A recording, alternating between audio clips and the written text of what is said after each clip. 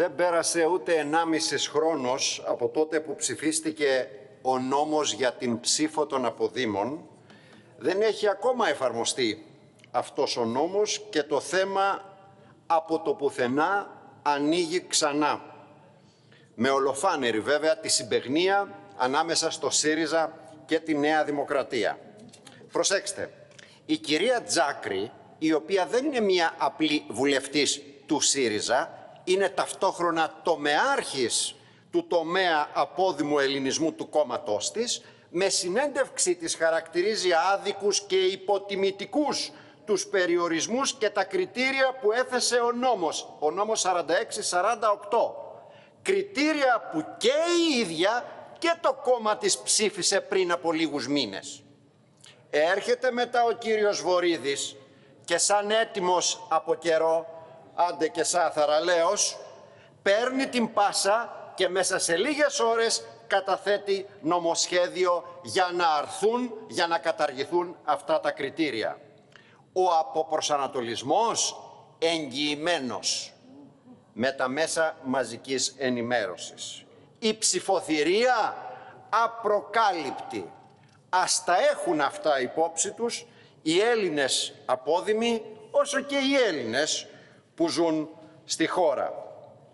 Αλήθεια όμως, γιατί μπήκαν αυτά τα κριτήρια ύστερα από πρόταση του ΚΚΕ; Μα για να αποτραπεί η αλλίωση του εκλογικού σώματος, καθώς στη χώρα μας για την απόκτηση της ηθαγένειας, άρα και την απόκτηση του δικαιώματος της ψήφου, ισχύει ακόμα, ισχύει, ναι, το αναχρονιστικό εκείνο δικαίωμα του αίματος και άρα μπορούν αυτό το δικαίωμα να το αποκτήσουν και όσοι δεν έχουν καμία απολύτως γνώση της ελληνικής πολιτικής πραγματικότητας, όσοι δεν διατηρούν πραγματικούς και ουσιαστικούς δεσμούς με τη χώρα και βέβαια όσοι δεν θα υποστούν και τις συνέπειες των όποιων πολιτικών τους επιλογών. Και αν δεν κάνω λάθος αυτό το τελευταίο, είναι βασικό συστατικό της αστικής πολιτικής αντίληψης για το δικαίωμα της ψήφου σε σχέση με τις υποχρεώσεις που αυτό παράγει.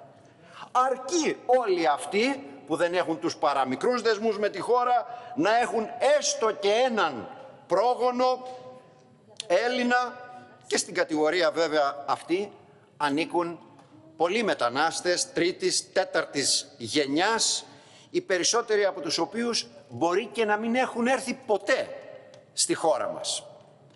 Αυτά είναι τα κριτήρια που θεσπίστηκαν έτσι ώστε να αποτραπεί η αλλίωση του εκλογικού σώματος. Αντίθετα, τα κριτήρια αυτά καλύπτουν και με το παραπάνω όσους έφυγαν, λάθος έκφραση, όσους διώξατε με την πολιτική σας από τη χώρα στα χρόνια της κρίσης και θέλουν να ασκήσουν το εκλογικό τους δικαίωμα εκεί που ζουν, στις χώρες του, εξωτερικού, του εξωτερικού, καλύπτονται και με το παραπάνω, όπως βεβαίως διευκολύνονται με βάση το νόμο αυτό που ψηφίστηκε το 46-48 και οι Έλληνες που εργάζονται ή σπουδάζουν στο εξωτερικό και έχουν δεσμούς με τη χώρα, έχουν πιθανώς και την ελπίδα της επιστροφής σε αυτήν.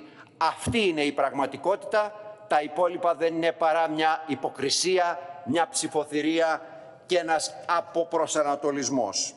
Έρχομαι τώρα στο νομοσχέδιο και θέλουμε να ξεκαθαρίσουμε από την αρχή για ποιο πράγμα συζητάμε.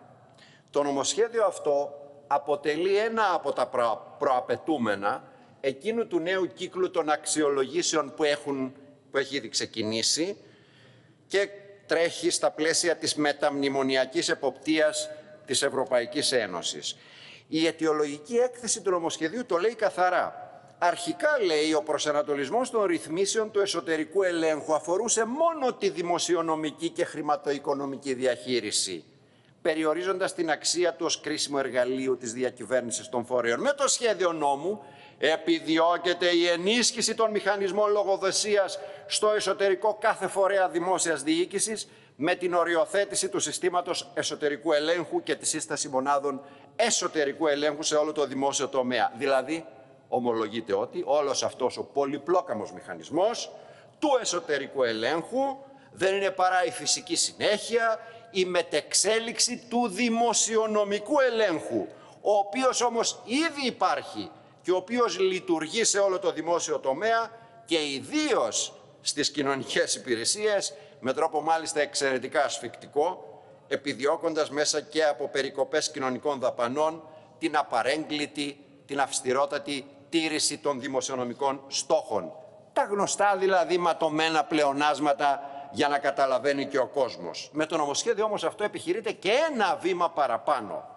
Πίσω από αυτές τις βαρύγδουπες και χιλιοακουσμένες διακηρύξεις περί χρηστής διοίκησης, πάταξης της διαφθοράς, με δυσκολία κρύβεται η προσπάθεια της κυβέρνησης να ενσωματώσει πιο σταθερά, πιο βαθιά στην πολιτική της, στην πολιτική δηλαδή της Ευρωπαϊκής Ένωσης, στα προτάγματα της αστικής στρατηγικής, τους εργαζόμενους στο δημόσιο και ταυτόχρονα να προσαρμόσει πιο αποτελεσματικά σε αυτή την πολιτική και όλες τις δημόσιες υπηρεσίες και όλα τα συλλογικά όργανα της τοπικής διοίκησης. Άλλωστε, σύμμαχοι της κυβέρνησης είναι και η ΚΕΔΕ και η συντριπτική, συντριπτικότατη πλειοψηφία των ερετών της τοπικής διοίκησης. Ο πυρήνας αυτής της στρατηγικής, την οποία προωθούν όλες οι κυβερνήσεις, δεν μπορεί και τέτοια είναι παρά σε ένα αστικό κράτος να είναι οι ανάγκες και οι προτεραιότητες των επιχειρηματικών ομίλων και γενικότερα του κεφαλαίου. Ένα μόνο παράδειγμα αρκεί για να το τεκμηριώσει αυτό που είπα.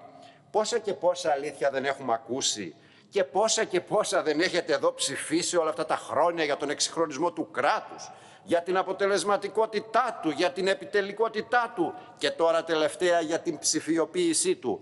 Ποια είναι η πραγματικότητα που ζει ο λαός; Το ίδιο αυτό το ίδιο κράτος γίνεται απίστευτα επιτελικό, εκπληκτικά γρήγορο, φοβερά αποτελεσματικό όταν πρόκειται να αδειοδοτήσει και να στηρίξει μια επένδυση όπως για παράδειγμα στον τομέα των άνεμο γεννητριών στην Εύβοια ή στη Θεσσαλία, όμως το ίδιο αυτό κράτος αποδεικνύεται απελπιστικά αργό, εξαιρετικά πρόθυμο και εκνευριστικά αναποτελεσματικό όταν στην ίδια ακριβώς περιοχή καλείται να προστατέψει την περιουσία, ακόμα και τη ζωή των λαϊκών στρωμάτων από τα φυσικά φαινόμενα. Όχι βέβαια επειδή αυτό είναι ανίκανο το κράτος ή επειδή η αξιολόγηση των υπηρεσιών του δεν γίνεται σωστά ή γιατί του λείπουν τάχατες ή εσωτερικοί έλεγχοι, αλλά επειδή ως βασική του προτεραιότητα έχει τη στήριξη των συμφερόντων των επιχειρηματικών ομίλων.